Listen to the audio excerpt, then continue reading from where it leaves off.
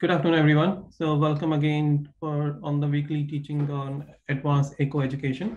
So today we will be talking about uh, mitral regurgitation.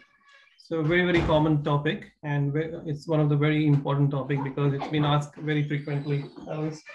It's been asked very, very frequently in the exam in, in, in, in different ways. So it's very, very important to go through this topic uh, thoroughly. So in this talk, I'll be talking about etiology, pathophysiology of MR and echocardiographic assessment and how to assess its severity. And I will do a few cases after that. First of all, to understand the etiology and the mechanism of mitral regurg, it's very, very important to understand the anatomy of mitral valve because based on that, you can explain the etiology and the mechanism. So as we all know that the mitral valve apparatus is made of mitral annulus, anterior and posterior mitral valve leaflet, commissures, tendineae, and the papillary muscles. So any abnormality of the mitral valve apparatus can cause mitral regurg. So to start with mitral annulus, so any dilatation or calcification of mitral annulus can cause mitral regurg. And if you go to mitral leaflet, which is, I think, very, very important to diagnose primary MR. So any degenerative or myxomatic disease, rheumatic heart disease, flail, prolapse, or infection, inflammation, or infiltrative disease of the leaflets can cause uh, mitral regurg. In terms of chordae tendineae, any rupture of chordae tendineae or any elongation of the chordae tendineae can cause that. And the same with the papillary muscles any ischemia, rupture, calcification of fibrosis of pap muscles can cause MR. And uh, the last one in terms of ventricular myocardium, so any ischemic cardiomyopathy, non-ischemic cardiomyopathy, and sometimes you know, related to you know, chemotherapy as well, it can cause uh, MR. So mechanism of MR, we can uh, classify based on the mitral pathology or also the movement of the mitral valve leaflets. So if we classify based on the mitral valve leaflet pathology, can divide it into primary and the secondary MR. So in the primary mitral regurg, so it's mainly the intrinsic abnormality of the leaflet which causes MR. And but whereas in the secondary MR, it results from the distortion of mitral valve apparatus because of either left atrial or left ventricle or both, you know, remodeling of uh, of these chambers. So again, if you divide into primary and secondary MR, so in primary, it's mainly the leaf, uh, the abnormality of the leaflet. So again, any degenerative myxomatic disease, any prolapse, flail, infection, inflammation, congenital problems can cause primary MR. Whereas in the secondary MR, it's the, the ventricular remodeling. So ischemic cardiomyopathy, non-ischemic, or annular dilatation like AF and restrictive cardiomyopathy causing that. Whereas in the second classification, you can also classify MR based on the mitral leaflet motion, you know, Carpentier classification. In the type one, the leaflet motion is and the position is normal. So I've just shown it that you can further divide it into primary and secondary MR. So in the Carpentier type one, so primary MR like leaflet perforation or cleft, whereas the secondary MR you know, dilatation causing the MR or non-ischemic cardiomyopathy. Whereas in type 2 Carpentier classification, there's an excess leaflet motion, for example, mitral valve prolapse. Whereas in type 3, there's a restricted motion of the leaflet. If the restriction is both in the systole and diastole, that's a type 3A. Where if there's a restriction only in the systole, that's type 3B. So 3A mainly it's a, uh, mitral annular calcification or rheumatic valve disease, whereas 3B is ischemic cardiomyopathy. So we can divide in both ways. So now, now the echo, echocardiographic assessment. So first of all, 2D mode. So in the 2D mode, there are mainly three important things we need to assess. The first thing, mitral valve apparatus as such, to understand the mechanism and the etiology, what's causing the MR.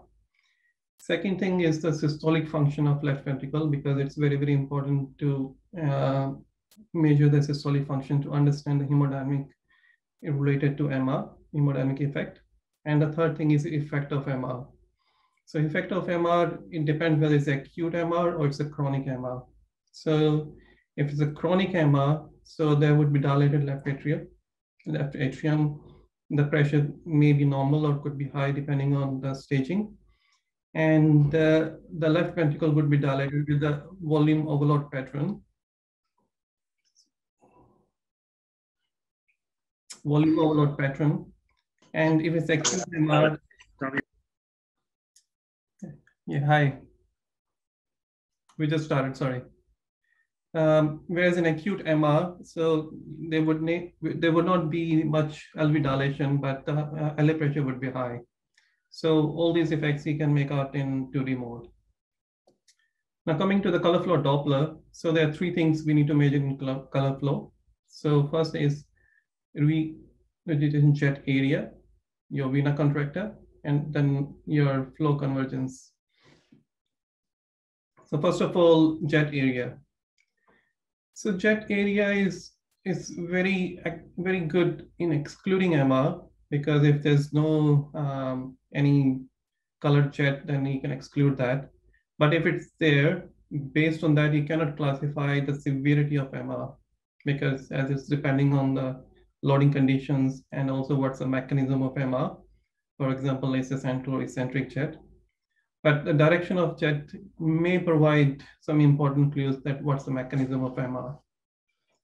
And if you're just measuring the area, so more than eight centimeter is severe, less than four centimeter square is mild.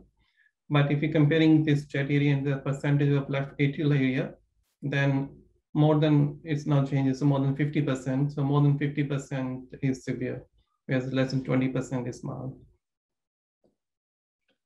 Now coming to vena contracta. So this is your jet. So this is the narrowest portion of the jet as is, you know, emerges from the orifice. It's just very helpful in distinguish from mild to severe MR. The good thing is, you know, it's independent of the flow rate and the driving pressure because it's a kind of, it's a fixed orifice here. And normally we check it, you know, measure it in the parasternal long axis in zoom mode. The pitfalls is that if there are multiple jets, then you will underestimate if you're, you know, doing this measurement.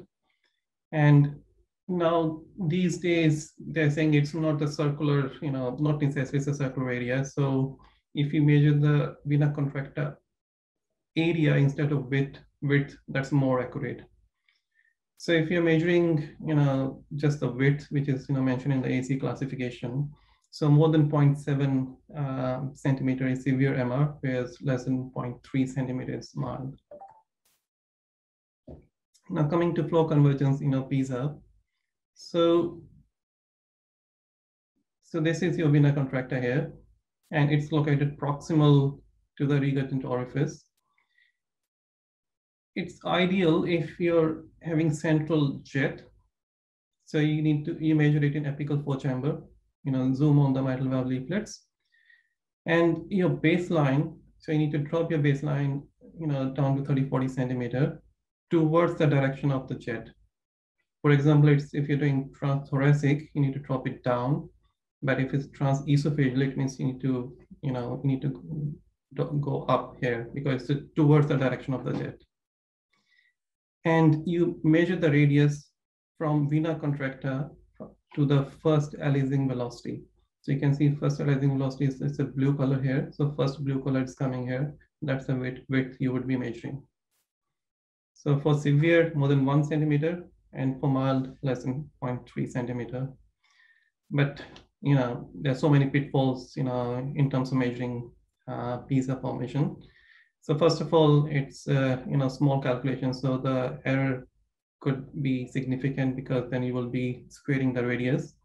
And if your jet is eccentric or there are multiple jets, then it may not be the correct measurement.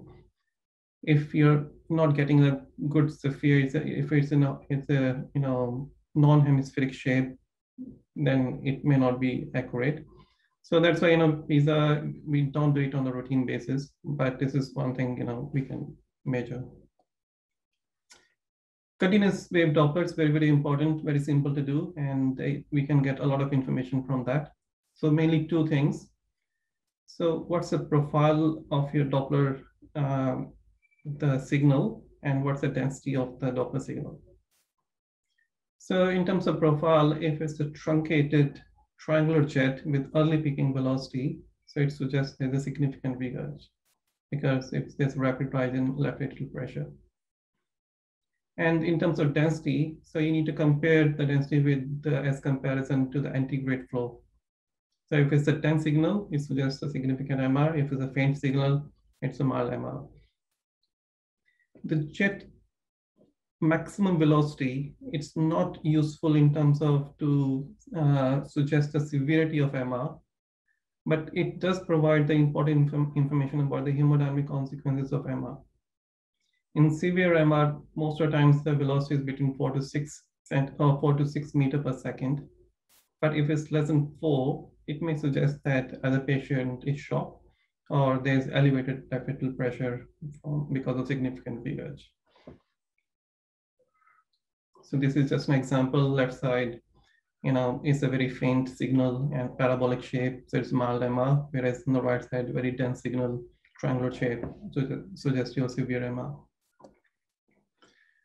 So pitfalls, again, if it's not a central jet, sorry, if it's a central jet, it will appear dense, whereas the eccentric jet may not show that, you know, dense signal.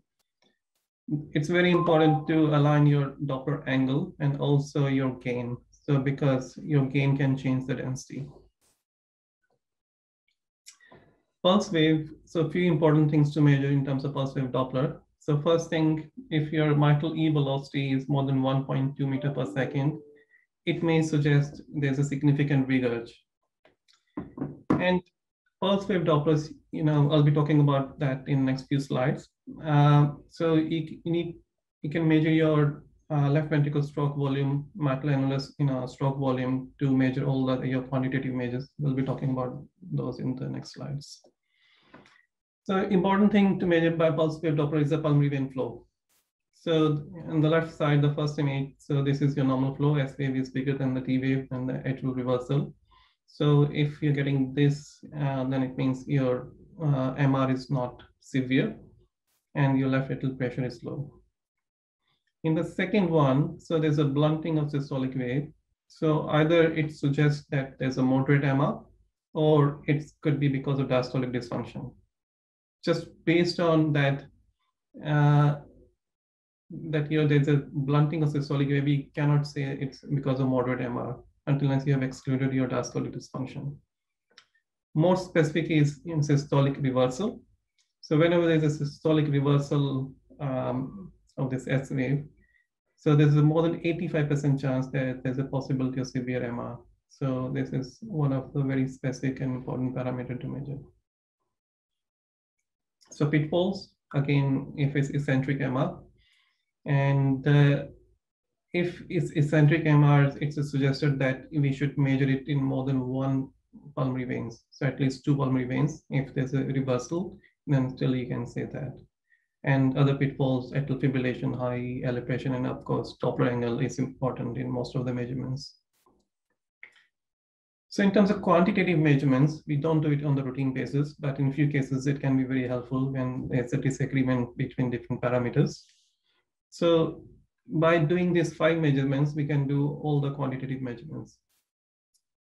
So first thing on the left side, so LVOT diameter and your LVOT VTI to check the LVO, uh, LVOT stroke volume.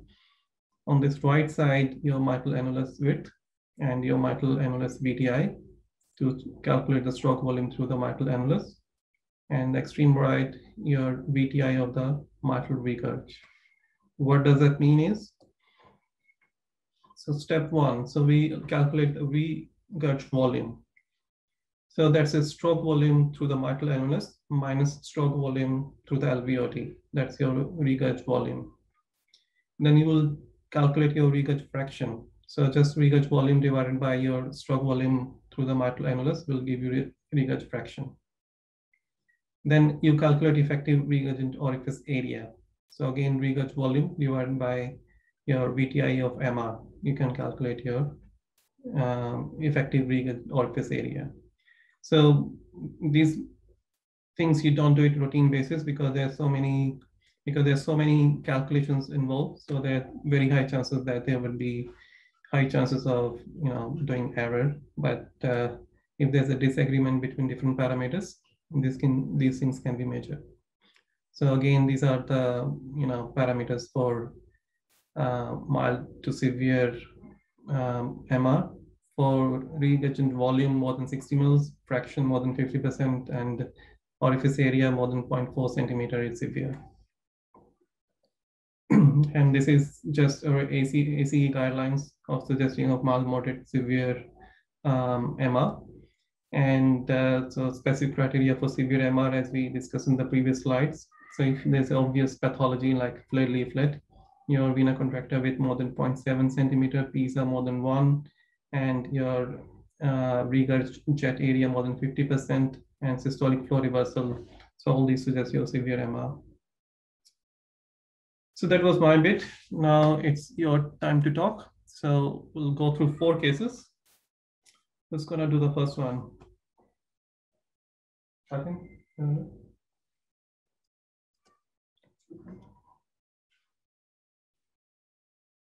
yeah, go for it. You know. So 50 mil, 50 years old, or 70 years old female patient with history of um, breast cancer. Mhm. This case on this side. On Herceptin and echo to investigate a new murmur.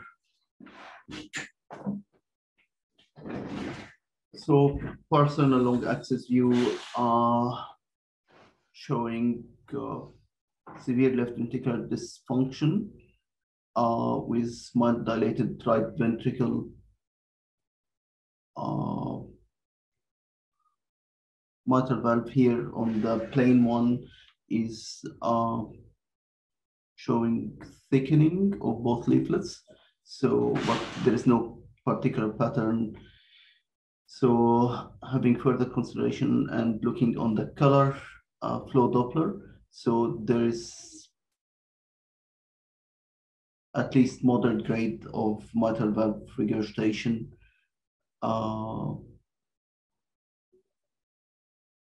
probably it's an off-axis image because I can see part of the tricuspid valve as well. So apical four-axis, uh, apical four chamber view. And the anterior mitral valve leaflet is showing that tip probably is having uh, either a flail segment or it looks more likely to be a flail segment of the anterior mitral valve leaflet. It's again off-axis image because intermittently I can see an apical five chamber view. The color flow Doppler on the other side is showing again uh, confirming moderate mitral valve regurgitation with posterior directed jet uh, posterior directed jet and this at 63. So I'd like to obtain further information to confirm that uh, this is a moderate grade. So apical two chamber view and again confirming the same findings as before. Uh, probably I can grade it here moderate to severe, but uh, probably would uh, be able to obtain further information as well for accurate measurement. So that's a pulse wave Doppler across the pulmonary valve, uh, uh, the pulmonary vein, uh, and that's showing the I can't see any systolic reversal, so probably that won't be severe. And this uh, pulse wave Doppler across the mitral valve and the LV inflow across the mitral valve leaflets, and this showing an E wave uh, velocity of around 1.2 Uh, I think it's averaging 1.26 uh, out of the three or four measurements that have been done, which again denotes probably there is an element of severity. So I would still grade it between moderate and severe, as I can't really see a reversal of the flow across the pulmonary. So to summarize, to summarize, this is a moderate uh, mitral valve regurgitation with normal LV function. Uh, in the context uh, sorry, it's severely impaired the left ventricular systolic function. So again, with this in the context uh, of the severity of the LV dysfunction, probably this could be underestimated uh, mitral valve regurgitation. What do you think is the etiology? Uh, the etiology probably could be uh, related to the Herceptin. Um, yeah. So severe LV dysfunction, I think, you know, there was one more thing, you know, I always try to mention about the regional wall motion abnormalities, because sometimes there is ischemic cardiomyopathy, it's important to comment on those, because there was septal akinesis. And uh, agree moderate MR, you didn't mention about the atrius, so Mhm. atrial dilatation yes, was there. that, yeah. And uh, agree it's a primary moderate MR, Mhm. inflammatory, related to chemotherapy-induced cardiomyopathy. Okay.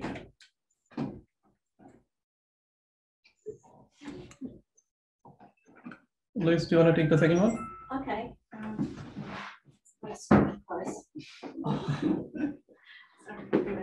Nose are becoming really close.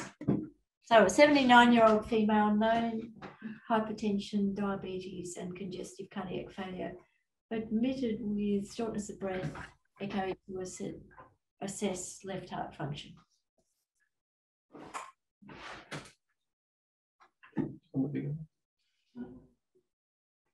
It's more the brightness of the screen. You can use the bigger one.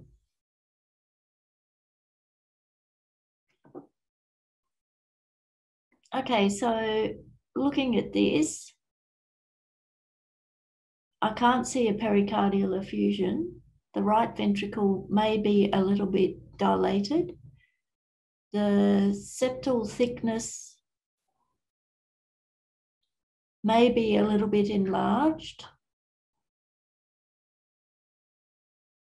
The LV function is probably reduced overall but I can't assess that just in this, this window.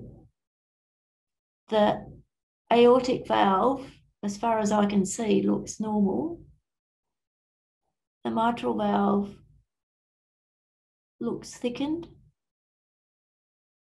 I can't really see if there's, if there's posterior prolapse on that because I could, just can't see the detail.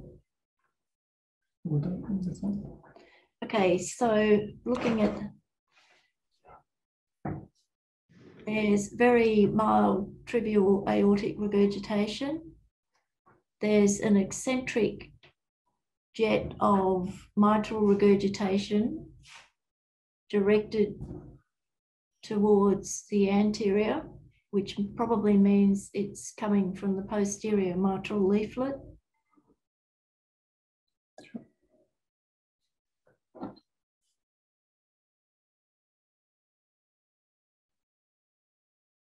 You'd really need to slow it down, but I suspect there may be an element of prolapse. But I would need to be able to slow it down to look to see the movement. And I'd like some colour across that. If There does look like there is. So the inferior and the inferolateral, the inferior wall is akinetic. The inferoseptal wall is probably akinetic. I The can hear you. Septal wall is hypokinetic. The anterior, well, that's all ventricle. So the anterior is kind of poking up there. The anterior may be okay, and the anterolateral kind of indeterminate on that view. So there are segmental problems. Sure.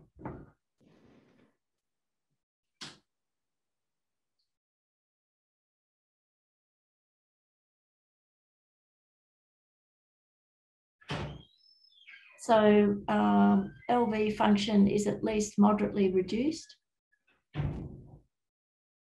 The actual mitral valve on this view looks normal. I can't see any major thickening or calcification. The left atrium is enlarged, right atrium is enlarged. The right, the atrial in, interseptum is kind of wobbling around in the middle. So that mean that might mean that there are equal pressures either side. The, gen, the direction of the jet is obviously quite eccentric.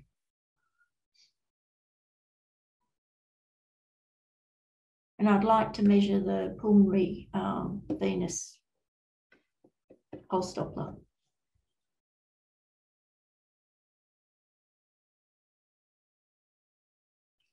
On the two chamber view, we can see that the anterior wall is not too bad. The inferior wall function is markedly reduced.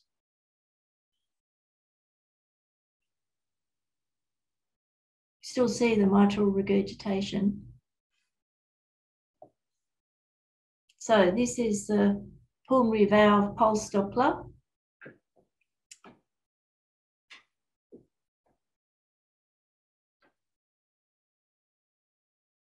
this is somewhere where I put the gain up a bit, you know, but you can see that there's systolic reversal.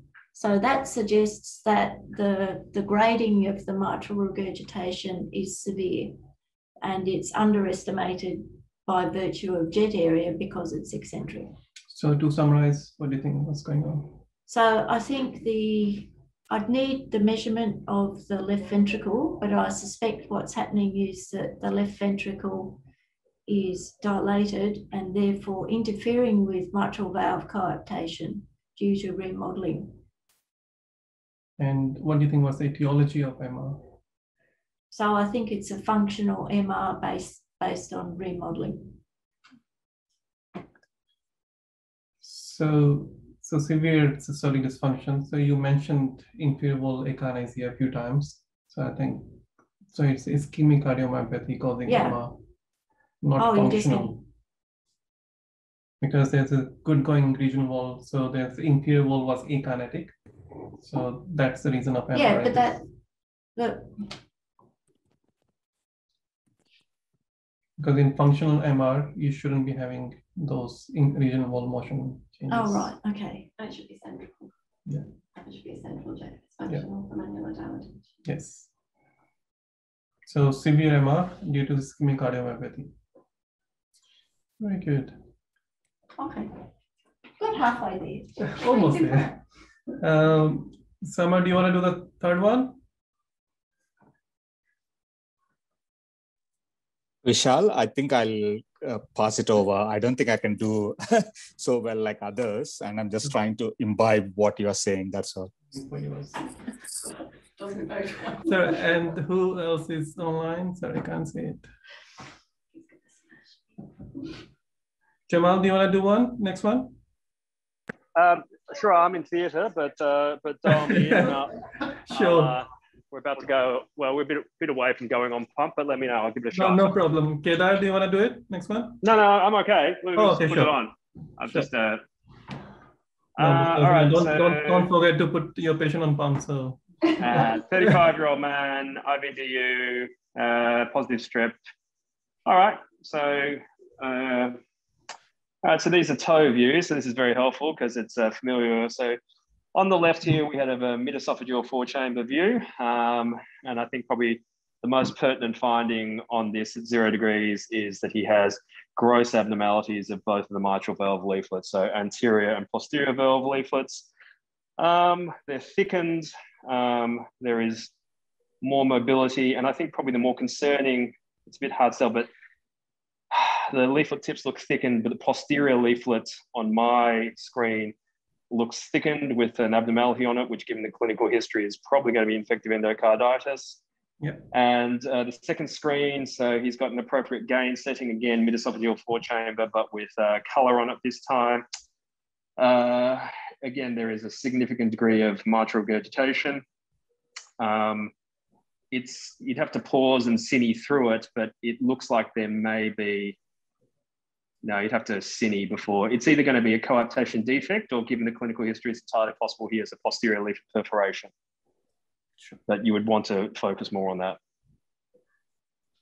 Uh, so this is, uh, again, these are still going to be, probably going to be on the left, that's mid-esophageal four chamber, but we've obviously gotten rid of some of the RV, which is unnecessary, focusing on the mitral valve leaflets. And again, the consistent appearance here, which is grossly thickened anterior and posterior leaflets. Um, the posterior leaflet is uh, probably more damaged than the anterior. Um, it would be difficult to say how much of this is uh, from, you know, endocarditis lesion um, and how much is from leaflet destruction. Uh, the posterior leaflet on the left view looks like it may be prolapsing into the left atrium. I would want to see a view at 120 degrees before I made any comments about whether it was billowing or prolapsing above the annular plane, but does definitely look like some of these abnormalities. There you go. Now that it's slowed and cineed, you can see that it's billowing up into the left atrium. And uh, the second view is a 60 degree, which would classically be a mid-commissure view um, with kind of the anterior leaflet coming up in the middle, uh, P1, A2, P3 classically. Um, it's hard to say. As I said, views thus far have suggested that the posterior leaflet is more affected, but if these leaflets are what they're supposed to be, there is significant uh, abnormality of the anterior leaflets. You'd want to put color on that. There looks like it could be set up for a perforation in this view there, there again. Um, but again, I'd want color on that. This man could have almost anything uh, causing his MR. Uh, so as requested, color now. So this is on the left there, it's going to be a kind of um, 90 degree focused mitral valve.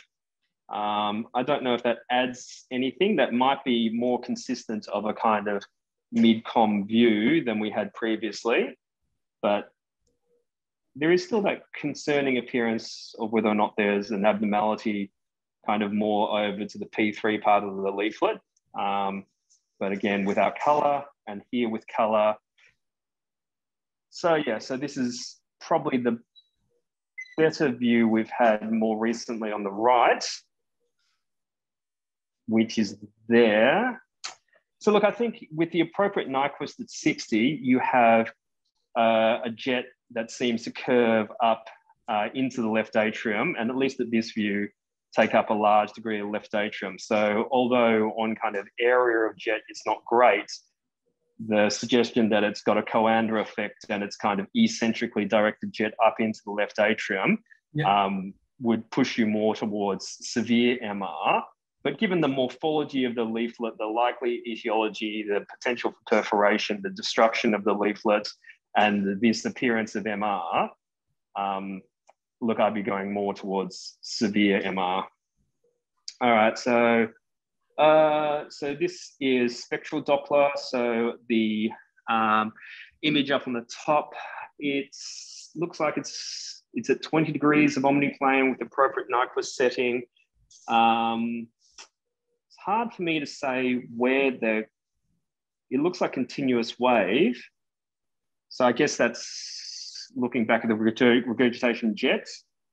Is that what we're looking at? But it looks quite yeah, filled, I guess. the quality jet, but yes. Yeah, but so look, I mean, if this is continuous wave, spectral Doppler going back into the left atrium, um, that's quite filled in, um, which I guess is going some way to building up a picture of the severity of the MR. And this is now on the right over here. It's an interesting place to get a pulmonary vein, but I suspect that's a pulmonary vein. So we've got yes. gated spectral Doppler in a structure which is most likely the uh, one of the upper pulmonary veins, potentially left upper, and whether or not this can, appearance is consistent with blunting of the pulmonary vein flow, but keeping in mind that there are four pulmonary veins, this is blunting in one, and given the potential etiology for this MR, it could be eccentric. Um, I would yeah. want to be looking at some of the other pulmonary veins, but yeah. it's all building towards. You know, this is this is not mild. Uh, the decision is whether or not this is moderate to severe, and this is building towards a severe uh, severity of MR. So I don't have the, you know, the view from the second pulmonary vein, but from the second pulmonary vein as well, we got the same, um, almost the same Doppler profile. Yep, yep. So to summarize, what do you think in terms of severity and etiology? Um, so this is, as you say, it's a 35-year-old gentleman with known history of uh, IVDU. He's got blood, blood, blood culture positive. Um, uh, I think it was staph, was it? Or strep? Yeah. And so, look, I mean, I think the, the most likely clinical diagnosis here is infective endocarditis of his mitral valve. Um, you know, there's uh, there is a grossly abnormal mitral valve leaflets, both anterior and posterior, at least on the images I've seen, posterior more than anterior. There is eccentrically directed mitral regurgitation of uh, at least moderate, if not severe severity with, uh, you know, suggestions on continuous wave Doppler um, of a lot of flow into the left atrium and also two out of four pulmonary veins with uh, blunting. Um, the etiology is uncertain. It could definitely be perforation. Um, we'd have to consider mobile echolysis anterior foster. Yep, yep, moderate. Moderate. All right, Hang on. Fine. Hang on. It's very good, Jamal. 10 out of 10. You can put your patient back on on the on the pump now. So. that's what that's what I got a fellow for. Thanks, Jamal. Um, and Marie, you know, the next one? Yeah. This is the last one. Do we go there? You can do it there. Sixty-eight year old female. Sorry, I think your voice may not record, sorry.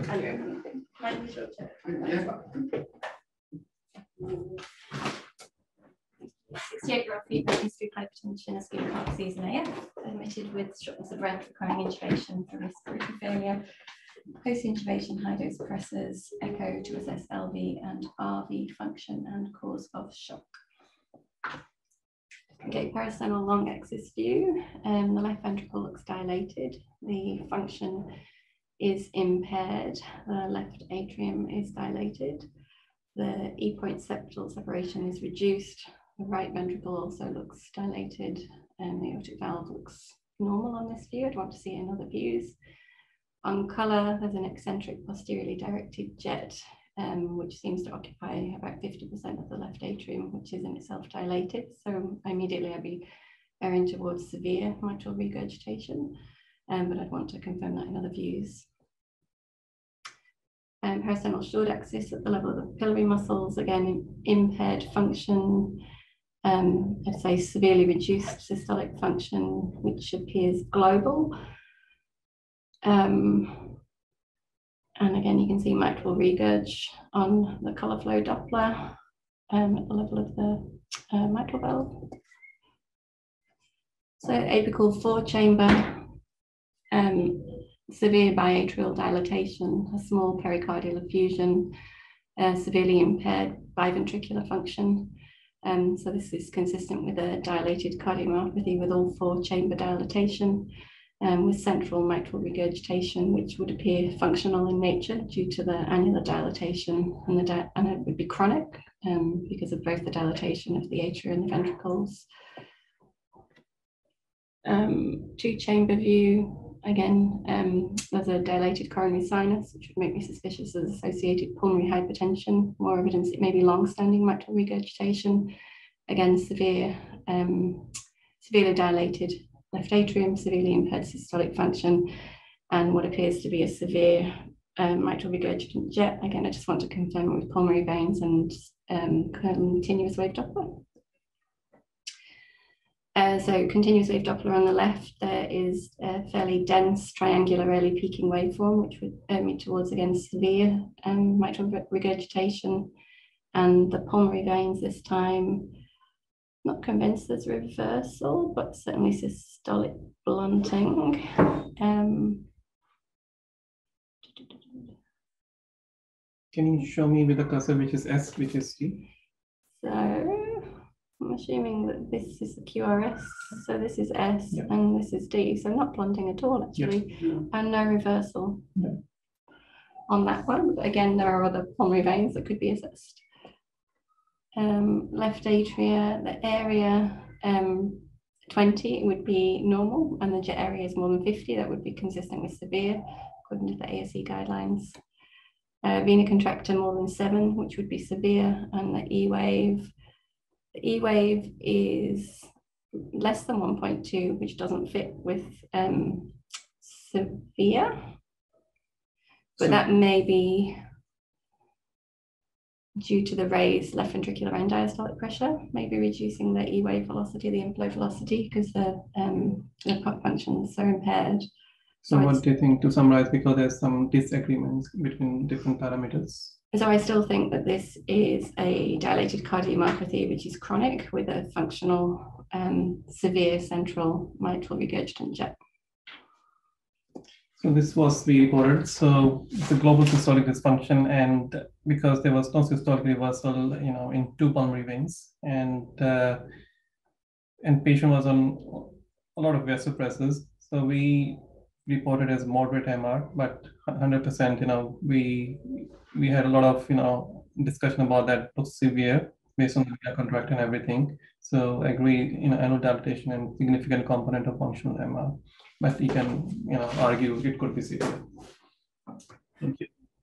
Yeah, so those were the cases, and uh, so main conclusion. So this is the you know slide I just you know added just a few minutes ago after Sam sent the paper this morning. So which is you know very nice paper. So I think three important things we you know eh, to consider every time you see MR. So what is the mechanism? So always go through what's the you know Carpentier classification point of view, what's the leaflet motion, and what's the leaflet uh, morphology. Then the severity of MR. So so make sure that uh, you know you consider all the parameters uh, uh, of the MR before considering in terms of severity, and also always be aware of what the different pitfalls of different parameters and also what's the consequence of uh, consequences of MR on the left atrium, left ventricle pulmonary circulations. So after considering all those things, only then consider in terms of severity and what could be the possible mechanism and what's the possible treatment. So yes, that was it. Any questions? If you learnt something, hit like and subscribe to our channel for more videos uploaded weekly. For bite sized versions, follow us on Twitter at Echo Nepean and check out the tutorials. Or head over to our websites for the latest hands-on courses. Links in the channel banner. And thanks Thanks for for watching.